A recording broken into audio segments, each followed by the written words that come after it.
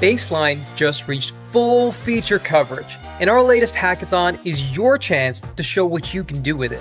Baseline shows you feature availability across all major browsers, and it gives you clear information about which web platform features are ready to use in your projects today. Previously, you had to jump between MDN, blogs, and Can I Use. Now, instead of disrupting your workflow to learn the baseline status of a feature, you can see it right in the tools you use every day.